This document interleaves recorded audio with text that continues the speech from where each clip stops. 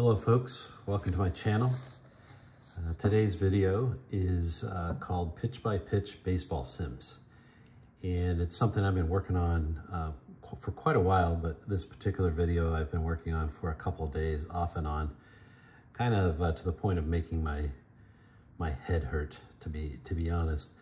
This is a bit of a risk here because uh, this, this video is gonna get down into the weeds may not be for everybody, but uh, you know, for for the rest of you, uh, thanks for listening, and uh, I'd be interested in your in your comments uh, as to what you think about this uh, concept and idea. So uh, most of the video today is going to fo focus on Tony Gwynn's stats. I like to look at people that I think I would call outliers in order to highlight various aspects of, of Sims, and so I, I picked Tony Gwynn for this exercise. So, um, quick intro here. So, these are some of my thoughts uh, as I've worked on this. Now, there are some pitch-by-pitch -pitch baseball sims that do exist uh, out there. Uh, I think they're relatively rare, at least for the card and dice realm. Uh, there was a recent Facebook post about this uh, concept and a few names came up. Uh, I'll talk about one uh, at the end um, of this video. Um, my thoughts are that most gamers probably avoid pitch-by-pitch -pitch games because they, they might take longer to play or just the pitch-by-pitch -pitch aspect isn't, isn't uh, sufficiently represented in, in, in, the game format. Um, I mean, I think the question is, does, does the pitch-by-pitch -pitch approach add to the gameplay experience or does it detract? Um, interestingly, pitch-by-pitch data for Major League Baseball players uh, is available, as best I can tell, from about 1981 onward. At least that was the case for, for Tony Gwynn. Um, so the natural question I have is, can this data be used to build a pitch-by-pitch baseball simulation? So um, if you have a player's pitch-by-pitch -pitch data, then you know arguably you could create some kind of a card, which we'll see, uh, to, in order to replicate, uh, you know, his performance on a pitch-by-pitch -pitch basis. But as with most baseball sims, um, there's another layer of complexity that, that comes with then how do you interact the pitcher and the batter.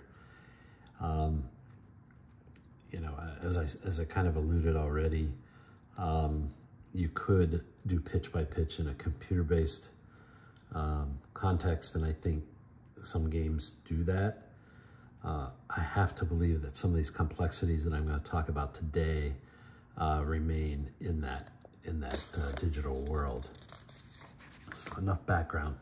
So on my channel, I have a couple of other videos. Uh, one of my early ones was about a game that I came up actually when I was a teenager, which unfortunately was like 50 years ago.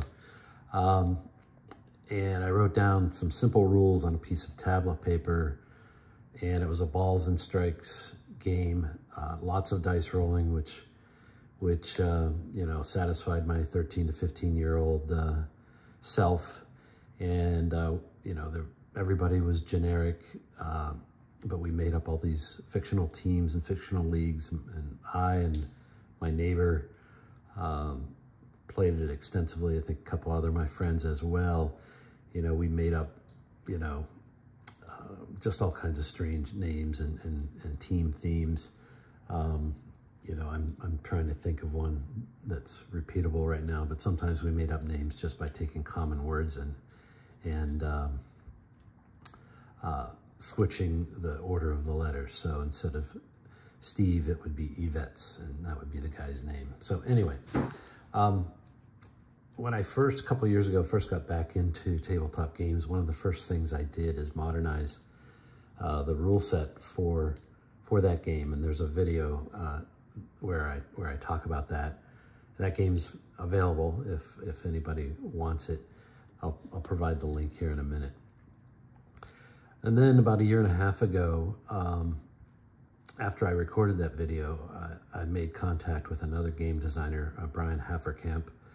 Um, he has a company called Clark and Addison uh, Game Company and I'll give you a link to that as well. But anyways, Brian and I started corresponding, and um, this particular uh, format uh, and color coordination here is, is actually Brian's um, design. But what Brian did is he kind of built on my idea and he actually created a couple of teams worth of, of player cards. And, and I believe initially they were just batter cards. And the way this game works, it uses two D6 dice, one, one darker one and one lighter one.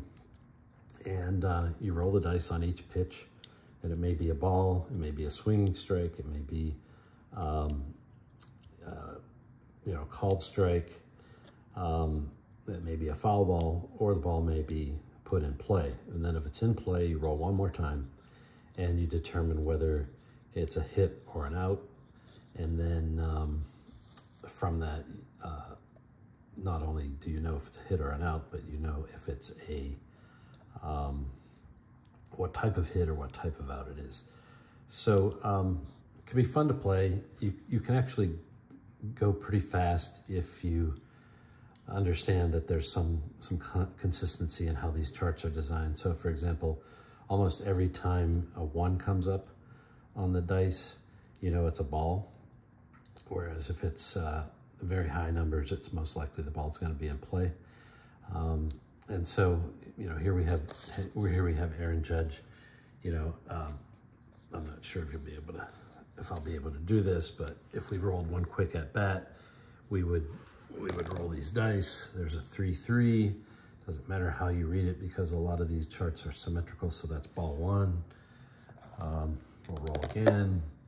Five four. So five on top, four on the bottom. That's a foul ball. That's a one one. Uh, one five, well, if there's a one, you already know it's a ball two and one. And there's a six two. So six two is a strike. So uh, remember right, it's two and two. There's a two five, and uh, he struck out.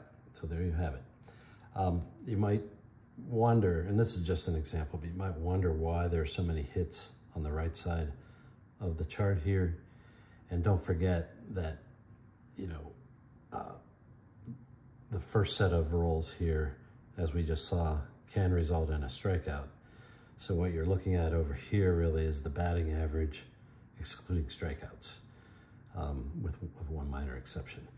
And, um, you know, a couple other things down here. Um, Aaron Judge in 2022 struck out 25% of the time, which is relatively high, uh, although these days it's, it's not completely uncommon. In the old days, I think 15% uh, strikeout rate was probably the average. And then he walks at a fairly high rate as well, 16%. And I think something in the neighborhood of 10% might be considered more normal. And of course, this was his 62 home run year. So um, there's lots of home runs in the lower right-hand corner of this, uh, this second chart. So yeah, that's how the game works. And we're gonna use this framework uh, to talk about Tony Gwynn. So before I do that, uh, I mentioned Brian Haferkamp and his um, his channel and he has actually recorded a game using these cards that I mentioned, including the 20, 2022 Yankees. He records two different games and he shows how it works and how it flows. He actually used a, a, a dice roller on his on his phone and, and, the game goes pretty fast. But you can uh, check that out. Uh, these links will be in the, in the description. Um, the videos that I did, uh, the, the first one is listed there with its name and link. And then the second one where I start talking about some of the math that we're going to talk about today. Uh, those are worth watching either before or after this video. Uh, my channel's at the bottom. Um, just recently I uploaded all these PowerPoints to Google Drive, so email me if you want those. Um, in particular, maybe more than most of my videos, comments uh, with any insights uh, about some of the things that I'm going to talk about today are, are quite welcome. Um, and feel free to like and subscribe, but um, the comments are what we're, we're really here for. Okay, so I think it was Brian actually that turned me on to this, but on Baseball Reference, you can get a player's um, a player's data for um, how how many pitches he has seen and what happened on those pitches. And if I if I said earlier 1981, I meant uh, 1988. As you can see here, there's always one mistake uh, in my uh, PowerPoints. So um, just a matter of where's Waldo and finding it. Anyway, 1988 to 2001, Tony Gwynn played 14 years. He saw 22,680 pitches in 6,700 plus at-bats or plate appearances. So his average pitches per plate appearance was 3.35. Apparently during that time, the major league average was 3.68. I'm used to seeing an average more of like 3.8, 3.9 um, pitches per, per plate appearance. But um, that, that's just for future reference when we talk here. And then you can see that 62.6% uh, of Tony's uh, pitches he saw were strikes. And this is strikes in the context of basically anything that wasn't a ball. Uh, so we're going to anal analyze this data a little bit more on the next slide. So I've excluded intentional balls and then uh, broke down Tony's pitches. And so in the top right, the red here, 18% uh, of pitches uh, were uh, strikes looking, uh, a very small 3% of strikes, of, of, I'm sorry, of pitches were swinging strikes. 14% of pitches were fouls. And then 27% um, were put in play and 37% were, were balls. And um, let's just go ahead and compare him against the major league averages, which we saw a couple pages ago. And so I've circled a couple of them that really distinguish Tony here, which is, you know, if he was swinging the bat, he was going to make contact. So he had a very small percentage of his uh, pitches that he saw that were swinging strikes, and conversely, uh, a pretty high uh, in-play percentage. Uh, the rest is kind of uh, somewhat normal, actually. Um, so, what do you do with this data? Well, what you can do is, is build this um, player dynamic, this player card, if you will, um, in this format and roll the dice. And presumably he's going to perform uh, as he did in real life.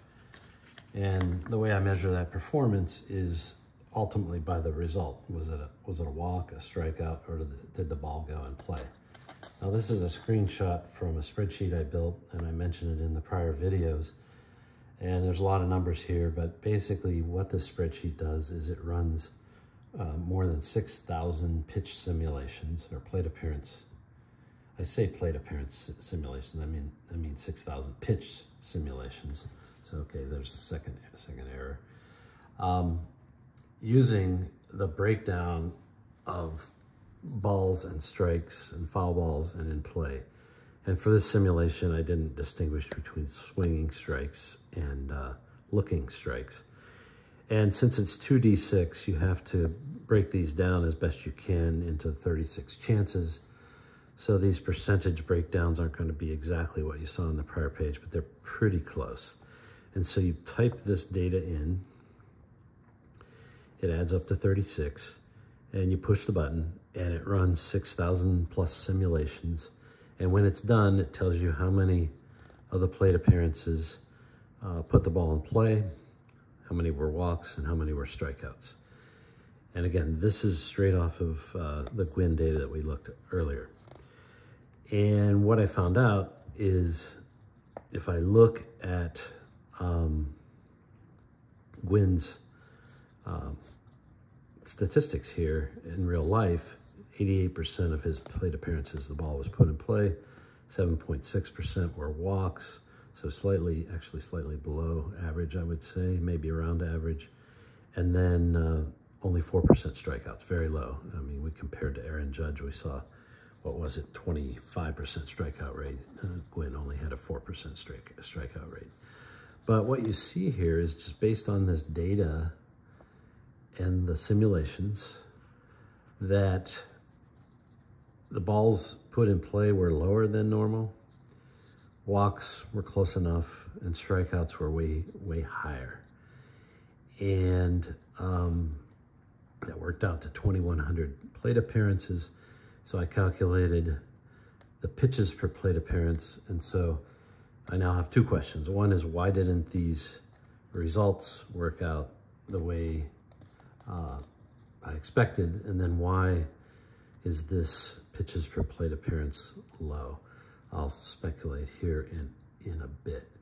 So then what I did is I found a third error on a slide here, so I'll fix that before I post it. But then what I did is I said, well, if I just play around with with these numbers and you know give them 15 ball 15 ball chances out of 36 instead of 13 and I increase the in play and I reduce the strikes significantly then uh, I can run a simulation and I can get something that's about as close as possible. I mean, here this strikeout rate was a little lower than it should have been. Um, the walk rate was a little higher, and the in play happened to work out exactly. And and again, it's still um, still a low pitches per plate appearance. You know, so what causes that? And the only theory, my leading theory that I have right now is that even though uh, this is the breakdown of pitch types, uh, this simulation does not take into account any um, count specific context. So it's very possible that, that Tony Gwynn was, was patient and it's possible that he, um, in a given plate appearance, his behavior might, might change uh, depending depending on the count. And, um, you know, I, I, I, really can't, can't explain it. I mean, um, when I look over, over here, uh, it's not an issue with the simulation in the sense of, you know, how the pitches turned out by type, because this column over here is an indication of the percentage breakdown by type compared to what we were trying to get. And so the simulation only had a mild amount of uh, variability, statistical variability, uh, which is one of the reasons why I did 6,000 uh, pitch uh, simulation. Uh, but anyways, um, you know, there's problematic. And so one of the things this would say, at least in creating a game, you is that you can't take the uh, actual data and use that to simulate Tony Gwynn. You, you actually have to use this spreadsheet and trial and error until you get something that works. Um, so if you do that, uh, taking the second second example, I created a, a make well not a make believe, but a, a sample of Tony Gwynn's chart, and you can see it looks a lot different than, than Aaron Judge's chart. There's even more walks on it, or balls on it, I mean. Very few foul balls, very few strikes of any kind. And that means he put the ball in play a lot. And then when you come over here uh, to the balls in play chart, um, you know, because he didn't strike out a lot, this this hit versus out mix is going to more closely re, uh, resemble his batting average. And then you can see in the lower right, most of his hits were singles, and he had so few home runs and triples that you have to find some way to kind of split that, that, that box up, maybe with a supplemental dice roll. So, um, so there you have Tony Gwynn. Um, so that's really all I wanted to say about this. It really, I'm just left with a lot of questions and and how how would be the best way if you were going to build a game like this how would be the best way to deal with um, some of these anomalies that I've that I've highlighted. I think the the one thing I learned uh, based on a, a recent conversation with Brian is that there's actual pitch by pitch data uh, that you could uh, come up with some kind of context or count specific uh, uh, engine, if you will, and then build your, your simulation off of that. I'm guessing that that would produce results that, that would be pretty close to real life. Um, but uh, that's kind of way beyond the scope of what I would ever do if I were to continue to work, work on this game. I mentioned at the beginning there are some other um, games that use pitch by pitch. The one that I have a general familiarity with is Baseball Classics. And I superimposed an arrow over here. And um, they have an what they call an RTP column where you can choose instead of um, instead of just rolling uh, the four dice and getting the result, you can roll the four dice and interpret it as, as a pitch result. And uh, just like I had before on the, the, previous chart, it could be a ball in play, it could be a sw swinging strike, it could be a looking strike, it could be a foul ball, or it could be a ball. So um, again, um, I mentioned there's four dice that are used in this game. You add them up. Uh, the distribution here is, is in the upper right-hand corner. So uh, I put a red box around the kind of the results in the middle. 14 is the most common. But the reason why I put a box around this is uh, from a statistical standpoint, there are a lot of balls in play on Altuve's chart. Now, I may not understand how this RTP uh, situation works on, uh, on baseball classics. Um, so I'm not really making a value judgment here. I'm just, uh, again, adding, adding to my confusion about, you know, what, what you should do in a game like this. I did summarize um, Altuve's uh, pitch distribution. Uh, the blue bar is uh, in real life, and the orange is in baseball classics. And, you know, there's some, some major inconsistency, which, you know, I, I just saying I don't understand. Maybe right, maybe wrong, maybe I don't understand the game. Um, if you did use the orange breakdown, I put it into the simulation, and 98% of the plate appearances, uh, off at least on dice rolls, uh, directly off of Altuve's chart, um, would be putting the ball in play, 98%. Uh, and I rolled a few dice just to see, and, and that's more or less uh, obvious what, what happened. So I, I, really don't understand how that works. If anybody plays Baseball Classics and uses that feature, please, please weigh in. Uh, I'd be curious to understand. The other important thing I might, I might have alluded to already is this is only looking at Altuve's chart and Baseball Classics is a 50-50 engine. So half the rolls will be against the pitcher card and half will be against the batter card. And that interaction may, may change uh, the ultimate result. Again, not a value judgment.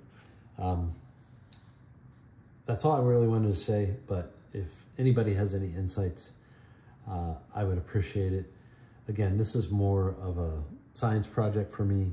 I really doubt I'm going to do much more work with it, uh, partially because of the um, of the issues that, that I identified in this latest analysis.